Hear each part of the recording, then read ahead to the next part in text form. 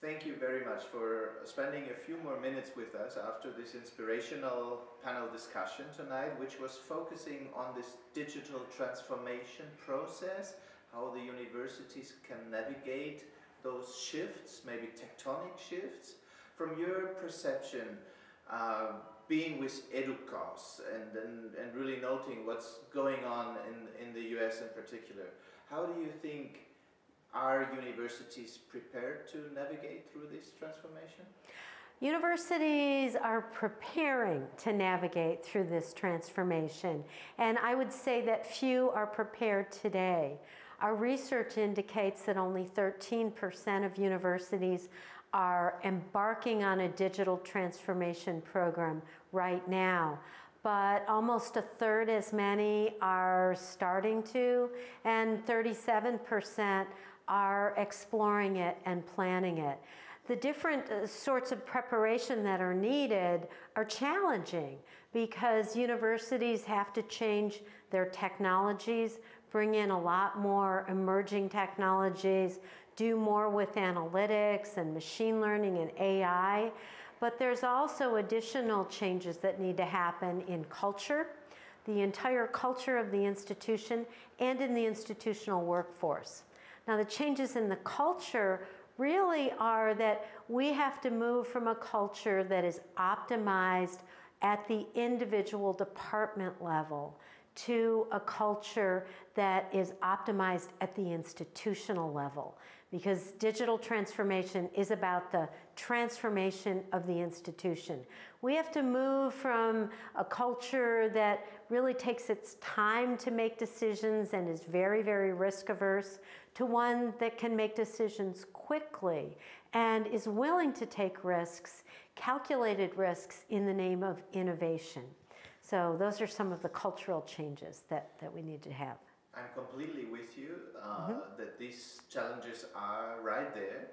Uh, we are wondering in Germany who or yeah let's, let's start with the who who is the agent the change agent within the institution that is maybe um, offering support for the navigation and what are maybe um, um, examples where uh, institutions speed up?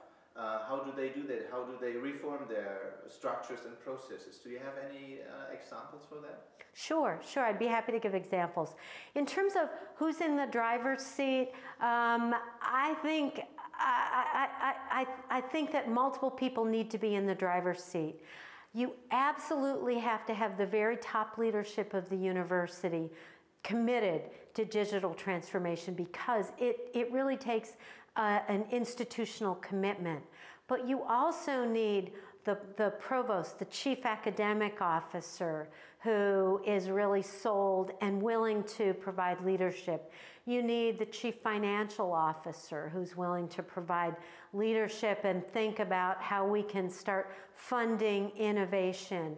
You need to have the chief HR officer who can help really remake the workforce. And then, of course, the chief information officer is really key to this. One of the things that we're seeing with the CIO role is we're seeing the CIO role, and I'm oversimplifying it because it's different at each institution. But the CIO role is also, in many ways, very often taking on leadership for the data part of the enterprise as well. At some institutions, those roles are separated, but at some institutions, there's join, they're joined because data really needs to be digitized and digitalized for transformation to take effect. Now, in terms of examples, you asked me to provide some examples.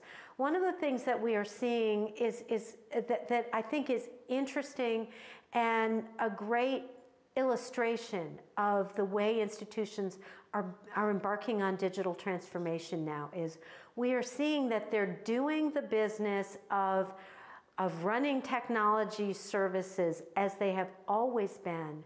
But what they're doing it, it what they're doing now is they're running technology services ser services with a transformational end in mind.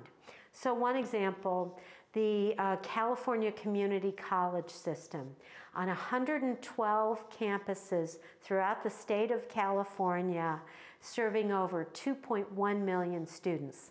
This is a very big enterprise, but it's 112 different colleges. What they did was they got together, these 112 colleges, and they said, you know, I bet we could save money and do some interesting things if we standardized on a single course management system. So think about the change management, the leadership that's entailed in simply making a change like that. That's not transformative. That's certainly, uh, it's simplifying your infrastructure. It's efficient, it's cost effective, but that in and of itself doesn't, doesn't do anything transformative. However, having standardized on a single course management system, what they're able to do now is something that is moving in a transformative direction.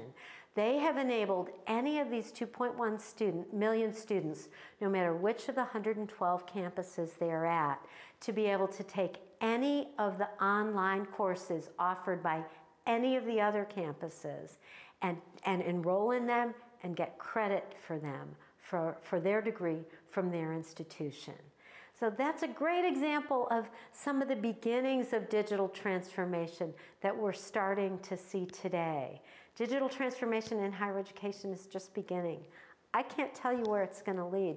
Nobody can. And that's, that means it's an exciting time to watch the transformation. But what we can do is we can say, you need to change your culture, you need to change your workforce, you need to change your technology we're really going to take that home with us, so that's fantastic. Mm-hmm.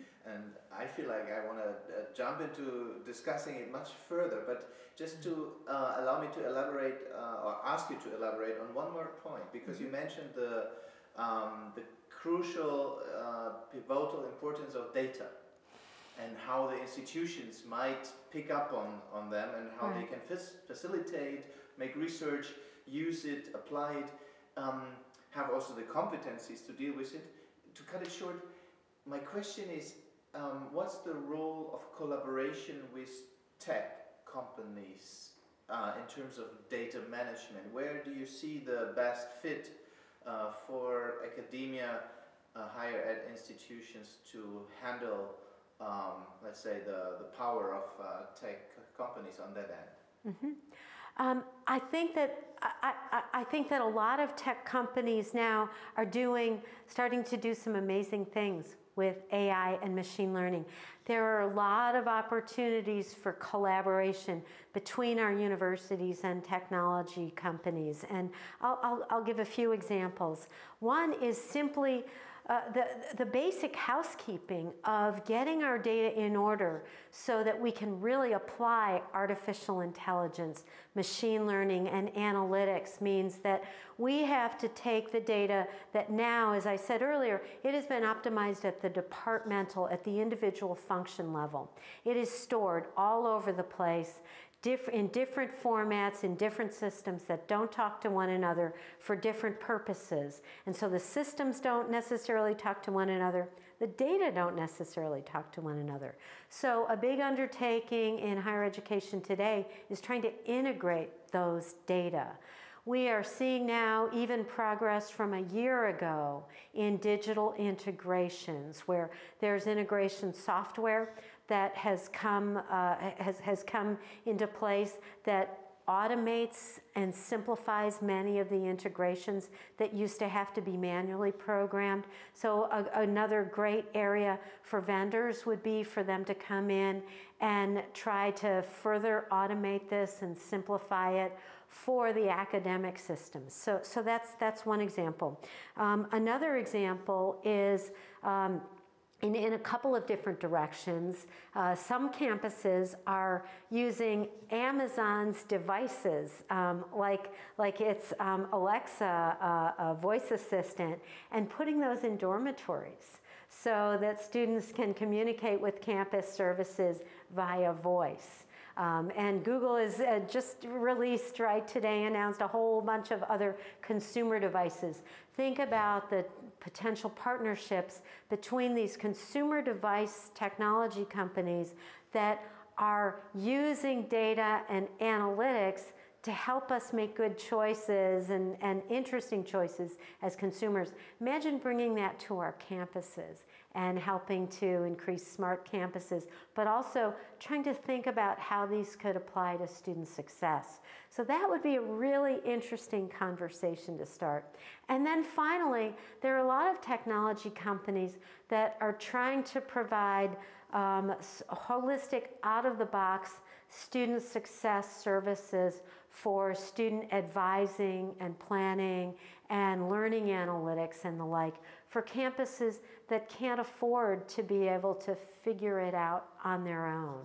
That's very interesting. That seems to be the potential side, let's say. And you mm-hmm. know, we are from Germany, so allow us to, to also play the, the concern side. Yes. Um, where do you think, think is the, the limit or the, mm, the risk uh, of dealing with uh, yeah, external partners that may also utilize uh, commercialize data or have other objectives yeah. than uh, higher academics, uh, higher ed academia has. So what, what do you think about this part? I'm really glad that you asked that because that's incredibly important we, we get stars in our eyes when we talk about new technologies and, and we think about all the wonderful things that they can do. And somehow uh, we, lose, we, we lose our remembrance of things past. Uh, and, and we think, well, nothing bad could ever happen because all I can imagine are the wonderful things. And we know that inevitably, every time we introduce a new technology, that there will be as many dark uses of it as there will benign and positive uses of it. What, what, in, what institutions can do right now is they can think about privacy and they can do what they need to do to be able to safeguard students' privacy. What do they need to do? The first thing they need to do is they need to know where their data are right? And in many cases, we don't. I, I, would, I would venture to say in most cases, we don't. We need a good inventory of the data. We need to know where it is, where it's going, who has it, and what it's being used for. And then uh, where, and, and, and institutions know this now. So they're very focused on data governance so that they can really understand where the data are headed. And they're also focused on how they can provide privacy assurances to students because students need to know what data they're giving up and how they're being used. And they need safeguards put in place. But it goes a step further. It also goes to making sure that when we work with vendors, with solution providers, we understand what they're doing with our data. Very often we ask them the naive question, well, who owns the data? It's still my data. And the companies will say, well, of course it's your data. That's the wrong question. The question that I have is, how long are you going to keep those data? When are you going to get rid of them? And who owns the algorithm, right? Because it's not about the data. The value is really in the algorithm and what you do with the data. So we're starting to see as we move into analytics and AI, we're starting to see talk not just of data governance, but of algorithmic governance. Very interesting. Looking forward to continue this dialogue. Thanks for tonight, Susan. Thank you very much. Thank you so much, Oliver. Thank you for inviting me.